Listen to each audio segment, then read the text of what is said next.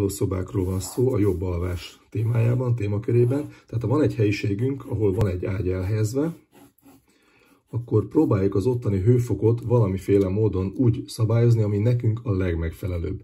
Úgymond a gyári alvás hőmérséklet, eh, nagyon sok tanulmány ezt bizonyítja, vagy mutatja, a 18-20 fok környezete, tehát a sokkal melegebbe egyen nehezebb aludni, és a sokkal hidegebbe se túl optimális.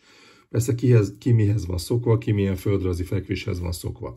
De minden esetre azért ez egy optimális vagy egy iránymutató érték, tehát találjuk meg azt a hőfokot, ami a saját hálószobánkban a mi számunkra a legmegfelelőbb. Tehát nyilván, ha fázosak vagyunk, akkor emeljünk ezen a hőmérsékletet, ha, ha izzadósabbak vagyunk, vagy nehezebben viseljük a meleget, akkor ne nyitogassuk az ablakot, hanem próbáljuk a hőmérsékletet beállítani. Tehát próbáljunk meg egy olyan hőfokot eltalálni, ami nekünk tényleg jó, és ne csak azon múljon, hogy legyen minden 25 fok a lakásban.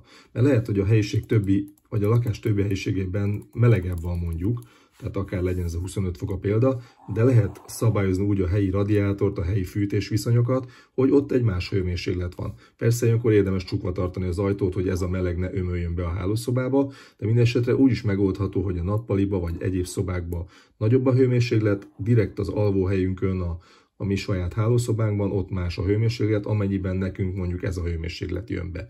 Persze a mi alvásunkhoz ez a hőmérséklet jó, akkor nincs miről beszélni, de minden esetre a hőmérséklet és az alvás viszonya fontos, tehát biztos, hogy egy számukra megfelelő hőmérsékleten jobban lehet aludni, mint a számukra nem megfelelő hőmérsékleten, és itt az irányadó a úgymond tanulmányok szerint ez a 18-20 fok. Nézzük meg, hogy ránk nézve igaz-e ez.